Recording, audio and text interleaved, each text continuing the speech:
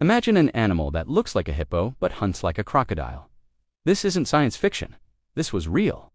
Travel back to million years to the wetlands of ancient Africa. A herd of early deer-like creatures drinks at the water's edge.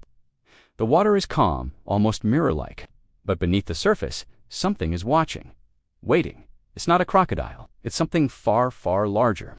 Its nostrils break the surface, silent as a whisper. Then the eyes. They aren't on the sides of its head like a modern hippo. They're on top, like periscopes. This is Hippopotamus gorgops. Gorgops means gorgon-eyed, named for its monstrous, forward-facing eyes. Unlike today's hippos, which are mostly herbivores, this beast was built differently.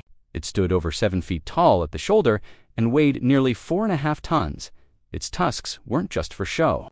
They were lethal, curved blades, perfect for ambushing prey from below. It was a semi-aquatic predator, a true river demon. Think about that for a second. The most dangerous large land animal in Africa today is the hippo.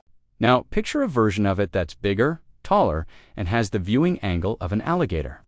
It didn't just defend its territory, it stalked it. The placid watering hole was its hunting ground. The slightest ripple could mean a four-ton behemoth was about to erupt from the depths. A shadow moves beneath the surface. It's impossibly fast for its size.